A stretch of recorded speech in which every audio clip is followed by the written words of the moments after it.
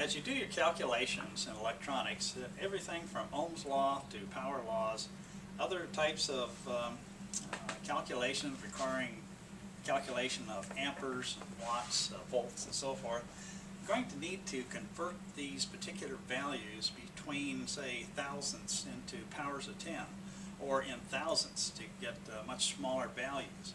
Because electronics, we often don't get into too many tens or hundreds or thousands of amperes, although they can. A lot of times we work with very small values like a milliampere or millivolt or microwatt, those types of things. So, I'm going to take a look at the number system. Take a look at our line here. I'm going to put the value of 12 up here. I'm going to assign some decimal values. And I'm going to continue on here in just a moment. But as we take a look at this first value, it's actually 12. This is in the ones place, the tens place. If I had another one or number here, as long as it's a whole number, it would actually be in the hundreds place, and thousands, and ten thousands, and so forth. As we take a look at this particular value then, we can also need to take a look particularly at the really small values. So I'm going to continue onward. I'm going to reassign this over here. I'll put this as a 10. Now I'm going to assign some values.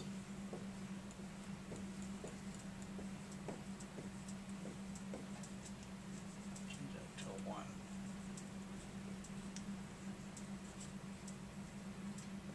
So as we're looking at this, most of our calculations actually are derived down at these particular small values.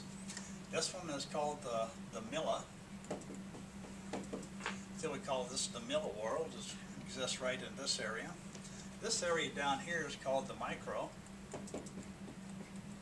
Down here we get into the nano. And the very last one is into the pico, P-I-C-O. As we take a look at the powers of 10 that these are, we come down here and we see that this is 1 times 10 to the minus third. This one down here, 1, 2, 3, 4, 5, 6. Micro is 10 to the minus 6. Going on down, 10 to the minus ninth. And pico is 10 to the minus 12th, or 1 trillionth.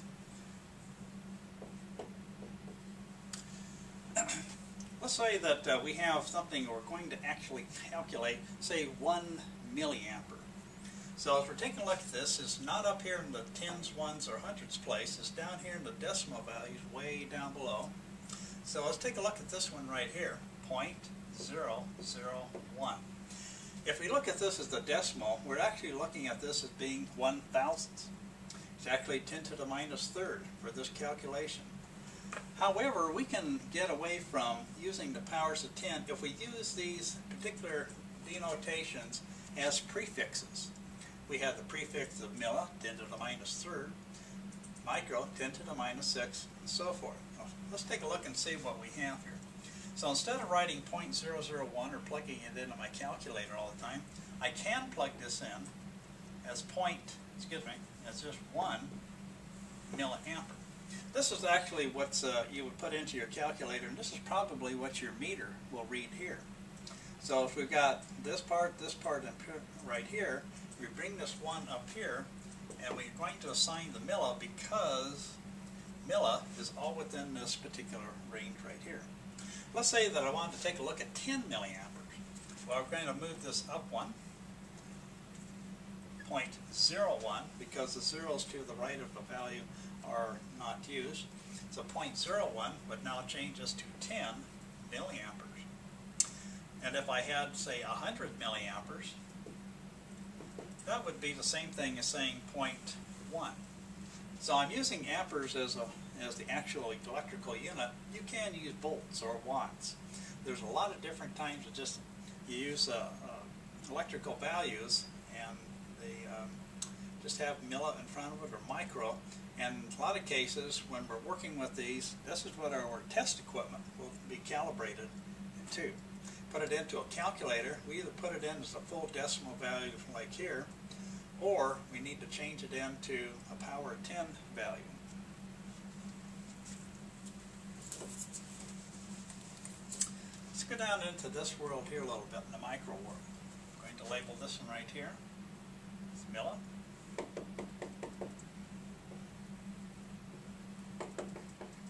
I'm going to talk about the micro world. 10 to the minus 6. We can do the same exact thing with putting numbers in here that we did with this, and then we can call it the micro whatever. Let's say we want to start out here, and we're going to use 1 micro something. In this particular case, we're going to talk about 1 microampere. And then decimally, this would be the same thing as writing point zero zero zero zero zero one. So these are actually the same exact thing. It's just that we've abbreviated all these six zeros places, and we're going to assign it a micro because it actually extends down into this area here. Let's say we're going to change from 1 microampere. Let's say we want to take a look at maybe 10 microamperes. So when we write 10 micro amperes, volts, watts, whatever units you're using, this would be the same thing as saying decimally 0.000001. Now notice that we've got a 10 here, for, this is the micro place, 10 to the minus 6. This becomes 10 to the minus 5th at this point. So as we move this up here, we're going to go from ones part, tens, and then hundreds. so let's take a look at this. We actually want 10 microamperes. We now have the decimal value of this, and this is a way that we could put this into our calculator, or we could actually put it in as a power of 10, which would be 1, go to exponents, we're going to have 1, 2, 3, 4, 5 to the minus 5th. And that actually is going to be our 10. Let's say I want to put 100 microamperes now. At 100 microamperes, we're going to take that 1 and bring it up one more decimal unit. So now we've got this part right here. This is still the micro. This is still 1 microampere in this place. But when I move that 1 to the left, it's actually going to go 100 places, or it's going to be 100 microamperes. So coming from 1 microampere, 10 microamperes, uh, or 100 microamperes, and if we needed to go beyond that, which does happen, we're going to take it up into the, the milliworld. What does that do? Well, if we take a look at this, let's say I have 1, 0, 0, 0, and we're going to have to assign a prefix to know what we're talking about. We're not talking about 1,000, or say 1,000 milli, or 1,000 uh, by itself. At this place, we're down here. It is possible to come all the way up here, and we're going to call this 1,000.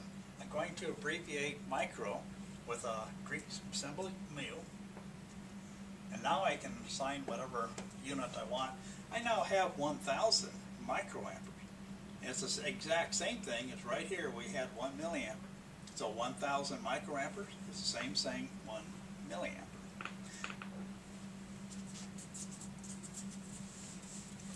As we progress down using the nano and the pico, it's the exact same process. Just that instead of using these powers of 10 up in here, they actually go to 10 to the minus 9 and to the minus 12. The same procedure that we use to go from here up into here for the, say, the ones, tens, and hundreds place for this particular group of powers of 10, it's the exact same thing down here. So 100 nanoseconds, say, 100, we're going to change that to nanoseconds. That would be the same thing as 100 nanoseconds. It's the same thing as, say, maybe point one, point one microseconds. As we take a look at these, can begin saying, gee, this is pretty useful, this is pretty versatile. I can go use this value, or I could use that one. This depends on how the test equipment reads and how you need to put this into your formula to do your calculations. Try this with different examples. Try something like this. What is 25 milliamperes? We're going to put this in full amperes. It's going to be a decimal value. Try something like 100 microamperes. And how many milliamperes is that? Add the example right here. And take a look and see if this doesn't work for you.